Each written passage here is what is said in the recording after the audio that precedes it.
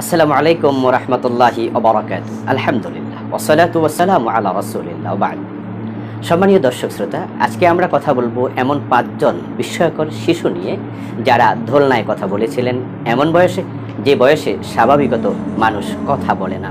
সহি বখারিতে তিনজনের বর্ণনা রাসুল সাল্লাহ সাল্লাম নিজে দিয়েছেন। সহি ইবনু হেব্বানে পাওয়া যায় বিশ্বনবীর বক্তব্য আরেকজন শিশুর ব্যাপারে। তফসিরে তাবারি সহ বিভিন্ন তাফসিরে পাওয়া যায় আরেকজন শিশুর আলোচনা যে দোলনায় কথা বলেছেন।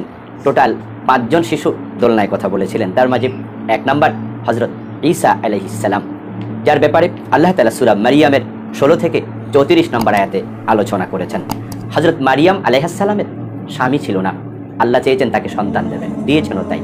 যখন সন্তান পেটে এসেছে, প্রসব করার জন্য উনি চলে গিয়েছিলেন মসজিদের মেহরাব থেকে নেমে মরুভূমিতে। কোনো এক খেজুর গাছের নিচে তিনি সন্তান প্রসব করেছেন। লোকজন যখন জানতে পারল তখন তারা দৌড়াইয়া এসে হজরত মারিয়াম আলাইসাল্লামকে অভিযুক্ত করে বলল, ইয়া মারিয়ামু লাপাদ জিতে সাই অ্যান্ড ফেরিয়া। মারিয়াম, তোমার তোমার তো বিয়ে হয়নি। তুমি নিশ্চয়ই পাপাচার করেছ ব্যবিচার করেছ। নাউদুবিল্লাহ মারিয়াম আলাইহাসাল্লাম চুপ ছিলেন, তাদের কথার কোনো জবাব দেননি, কারণ আল্লাহ তাকে কথার জবাব দিতে নিষেধ করেছিলেন। এক পর্যায়ে তিনি ইলাইহি। কোরআনে আল্লাহ বলেন, কোলের সন্তানের দিকে ইশারা করলেন। তখন তারা বলল, কাইফা নুকাল্লিমু মান ক্যান ফিল মাহদি সবিয়া এই ছোট্ট বাচ্চার সাথে, যার বয়স তো এখনও এক দুদিনই হয়নি, আমরা তার সাথে কীভাবে কথা বলব? তোমাকে বলতে হবে, এ সন্তানের পরিচয় কি? হজরত মারিয়াম আলাইহাসাল্লাম কোনো কথা বলছেন না। লোকজন জবরদস্তি করছে, উনাকে ব্যবিচারের অভিযোগে অভিযুক্ত করছে। হজরত ইসা আলহিসাল্লাম মায়ের কোলে শুয়ে তিনি তখন তার প্রতিবাদ করলেন, জবাব দেওয়া শুরু করলেন, কথা বললেন, ইন্নি আব্দুল্লাহ নাবিয়্যা তোমরা আমার পরিচয় জানতে চাও? তাহলে শোনো আমি হচ্ছি আল্লাহর বান্দা, আল্লাহর গোলাম এবং আমি নবী হব, আমাকে কিতাবও দেয়া হবে। এভাবে একবারে মায়ের কোলে ছোট্ট বয়সে হজরত ঈসা আলহিসাল্লাম কথা বলেছেন, এটা কোরআন মাজিদ দিয়ে প্রমাণিত।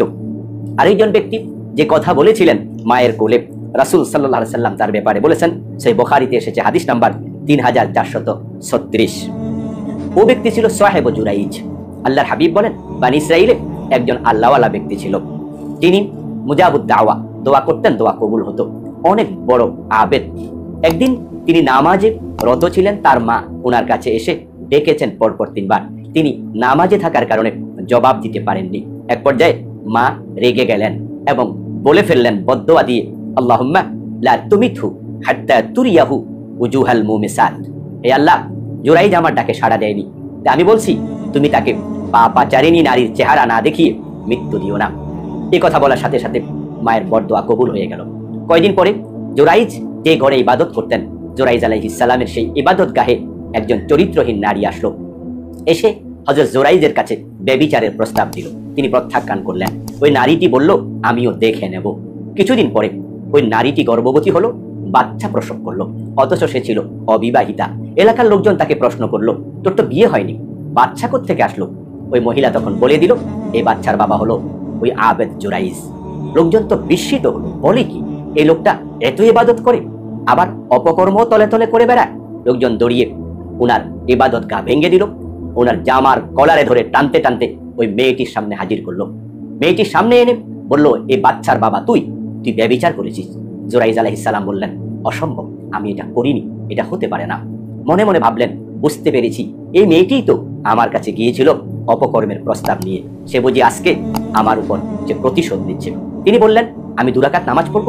অনুমতি দেবে? তারা অনুমতি দিল। তখন দুরাকাত নামাজ পড়ে তিনি আল্লাহর কাছে দোয়া করলেন যে, আল্লাহ, তুমি আর উত্তম পয়সালা দিয়ে দাও। নামাজ শেষে ওই সন্তানের কাছে এসে হজরত জোরাইজ আলহিসাল্লাম সন্তানের দিকে তাকিয়ে প্রশ্ন করলেন। সন্তানটি জবাব দিল মায়ের কোলে থেকেই, ওই ছোট্ট শিশুটি যে তার বাবা জোরাইজ নয়, তার বাবা হলো অমক রাখাল। স্পষ্টভাবে প্রমাণিত হয়ে গেল হজরত জোরাইজ ব্যবিচারী নন, তিনি ভালো মানুষ। ওই ছোট্ট বাচ্চাটি কথা বলেছিল মায়ের কোলে। তিন নাম্বার, ইবনু এমরাতি বানি ইসরাইল সহি বখারি, সহি মুসলিম। ওই হাদিসে এই আলোচনাটি এসেছে। যেটার হাদিস নাম্বার আমি বলেছি বখারির, মুসলিমের দুই হাজার পাঁচশত পঞ্চাশ, বখারির তিন হাজার চারশত ছত্রিশ। আল্লাহ হাবিব বলেন, বান ইসরাইলের এক মহিলা, তার কোলে শিশু দুধ পান করছিল ছোট্ট বাচ্চা। এই অবস্থায় মহিলাটি দেখলেন, একজন ব্যক্তি ঘোড়ায় চড়ে কোথাও যাচ্ছে। তাকে দেখেই ওই মহিলা বলে ফেললেন আল্লাহ মাজাল হে আল্লাহ, এই যে ঘোড়ায় করে যাচ্ছে সুটাম দেহের অধিকারী, চমৎকার লোকটা। তার মতোই আমার এই সন্তানটাকে তুমি করে দাও। কবুল করো, তার মতো যেন আমার সন্তানটা হয়। মা যখনই দোয়া করলেন, সন্তান মায়ের দুধ থেকে নিজের মুখটাকে সরিয়ে উল্টা করে বলল আল্লাহ আল্লি মিসলাম হে আল্লাহ, এই লোকের মতো তুমি আমাকে করো না। কিছুক্ষণ পরে ওই মা যাচ্ছিলেন আর একটা মহিলার পাশ দিয়ে। যে মহিলাকে অনেকগুলো লোক একত্রিত হয়ে তাকে ব্যবিচারের দোষে দুষ্ট বলে অপবাদ দিচ্ছে, শাস্তি দেওয়ার জন্য তারা প্রস্তুতি নিচ্ছে। ওই মহিলাকে দেখে এই বনি ইসরায়েলের নারীটি, সে বলল আল্লাহ আল্লাহ, আমার সন্তানকে এই মহিলার মতো তুমি করো না। ওই সন্তানটি তখন মায়ের কোল থেকে সে আবার উল্টো করে কথা বলা শুরু করল। সে বলল আল্লাহ জাআলনি মিসলাহা। হে আল্লাহ, আমাকে তুমি এই মহিলার মতোই করো। তখন মহিলা অবাক হয়ে সন্তানের দিকে তাকিয়ে বলল, লিমা, তুমি কেন এটা বলছো? তখন সন্তানটি বলল আর রাকিব জব্বারুন মিনাল জাবাবিরা, ওয়া হাযিহিল আমা ইয়াকুলুনা সারাকাত ওয়া জানাত ওয়া লাম তাফআল ওয়া হিয়া তাকুল হাসবিয়াল্লাহু নি'মাল ওয়াকিল। শিশুটি বলল, যেই লোকটাকে দেখে তুমি দোয়া করেছ, আমি যেন তার মতো হই। ওই ঘোর সাওয়ার, সে ব্যক্তি হলো একজন প্রচণ্ড অহংকারী, বড় জালেম। ওই ব্যক্তির মতো আমি হতে চাই না। আর যে নারীকে দেখে তুমি বলেছ, তার মতো যেন আমি না হই। লোকজন বলছে, নারীটি জেনা করেছে, চুরি করেছে বাস্তবে এ মহিলা ব্যবিচারও করেনি, চুরিও করেনি। বরং সে বলছে, হাসবি আল্লাহ, আমার আল্লাহ আমার জন্য যথেষ্ট।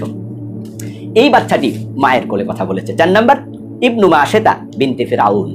ফেরাউনের কন্যা, তার চুল আছড়াতো যে নারী, ওই নারীর সন্তান মায়ের কোলে কথা বলেছিল। সহি ইবনু হেব্বানে এসেছে, রাসূল সাল্লাল্লাহু আলাইহি ওয়াসাল্লাম বলছেন, হাদিস নাম্বার 2904 আব্দুল্লাহ ইবনে আব্বাস থেকে বর্ণিত।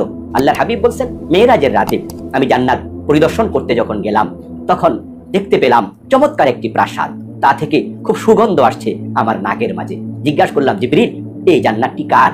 তখন জিবরিল আলাইহিস সালাম বললেন, এটা হচ্ছে মাশেতা বিনতে ফেরাউন। ওই ফেরাউনের কন্যার মাথার চুল যে মেয়েটি আঁচড়িয়ে দিত, এটা তার জান্নাত। হাদিসে পাওয়া যায়, একদিন চুল আঁচড়ানোর সময় তার হাত থেকে চিরুনি পড়ে গিয়েছিল। তখন সে চিরুনি তুলতে সময় বিসমিল্লা বলেছিল। ফেরাউনের মেয়ে অবাক হয়ে প্রশ্ন করল, আল্লাহ আবার কে? তখন ওই মা শ্বেতা চিরুনি যে মেয়েটি করে, সে মা- মাস্তুল মানি চিরুনি, মা শ্বেতা মানি যে চিরুনি কারি ওই চিরুনি কারিনী মহিলা বলল, আমার আল্লাহ, তিনি যিনি আমাকে সৃষ্টি করেছেন। তখন ফেরাউনের কল্লা কন্যা বলল, তুমি কি আমার বাবা ফেরাউনকে রব মনে করো না? তখন তিনি বললেন, না, আমার রব তো আল্লাহ। খবরটি ফেরাউনের কাছে চলে গেল। সে ওই মহিলাকে এবং তার যে কয়টা সন্তান আছে, সবগুলোকে হত্যা করল। তাদেরকে জ্বলন্ত আগুনে ফেলে অঙ্গার করে ফেলেছিল। সর্বশেষ যে তার কোলে বাচ্চা ছিল দুধ পান করত। ওই শিশুটিকে তার কোল থেকে যখন কেড়ে নিয়ে তাকেও জ্বলন্ত আগুনে ফেলে দিচ্ছিল। তারপরে মহিলাটিকে ফেলেছে। তার সন্তান আগে যা ছিল সবগুলোকে হত্যা করার পরে। সর্বশেষ ছিল ওই ছোট বাচ্চা। তার মায়ের কোল থেকে যখন তাকে কেড়ে নিল, তখন সে বলছে, ইয়া উম্মাতা, ফা ইন্নাকা আলাল হক। হে আমার মা, মন খারাপ করার কিছু নেই। ফা ইন্নাকা আলাল হককে, তুমি সত্যের উপরে আছো মা। এই বাচ্চাটি ছোট্ট মা, মাকে সে ছোট, ছোটকালেই প্রবোধ দিল সত্যের উপরে থেকে। মৃত্যুবরণ করা সৌভাগ্যের ব্যাপার। মন খারাপ করো না। এই কথা বলা এই লোকটি চার নাম্বার। পাঁচ নাম্বার হলো শাহিদি ইউসুফ আলাইহিস সালাম। তফসিরে তাবারিতে এসেছে, ইউসুফ আলাইহিস সালাম যখন জোলাইখা উনাকে নিজের পক্ষে আনতে ব্যর্থ হলো, উনি যখন দরজা দিয়ে পালিয়ে বের হয়ে গিয়েছিলেন, তখন জোলাইখা পিছন থেকে উনার জামা টেনে ধরেছিল। সুরা ইউসুফে ছাব্বিশ নাম্বার আয়াতে আল্লাহ প্রসঙ্গে আলোচনা করেছেন ও শাহিদা শাহিদুম মিন আহলিহা। যখন ইউসুফ আলাইসাল্লাম বের হয়ে যাচ্ছিলেন, তখন উনাকে পিছন দিয়ে জোলাইখা জামা টেনে ধরেছিল। যখন দরজার সামনে আসলো, তার স্বামীর সাথে দেখা হয়ে গেল। তখন জোলাইখা ইউসুফ নবীর চরিত্রের উপরে অভিযোগ পেশ করল। বলল, ইউসুফ, আমার উপরে আমার গায়ে হাত দিতে চেয়েছে। ইউসুফ আলাইসাল্লাম তো অবাক হলেন, কিন্তু এখানে তার পক্ষে কেউ সাক্ষী নেই।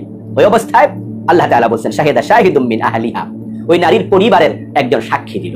সাক্ষী দিয়ে বলল কুদ্দামিন কবুলিন ফাসাদাকাত। যদি সামনে দিয়ে ছেঁড়া থাকে, মহিলা সত্যবাদিনী।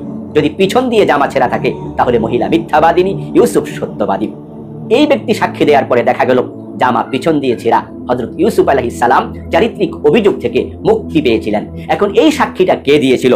আব্দুল্লাহ ইবনে আব্বাস রাদিয়াল্লাহু তাআলা আনহু বলেন, তাফসীর প্রণেতা আয়াতের ব্যাখ্যায় ইবনে নকল করছেন। তিনি বলছেন সাবিয়ু এটা ছোট্ট একটি বাচ্চা ছিল। ইবনে আব্বাস বলেন, তাকাল্লামা আরবাতুম ফিল ওয়া হুম সিগারুন দোলনায় চারজন শিশু কথা বলেছিল, যারা ছিল একেবারে ছোট। ইবনু মাশাতা বিনতে ফিরাউন ওয়া শাহিদ ইউসুফ, সাহেবু জুরাইজ ওয়া ঈসা ইবনু তার মেজে তার মধ্যে হজরত ইউসুফ আলাইহিস সালামের পক্ষে সাক্ষী দেয়া লোকটাও ছিল।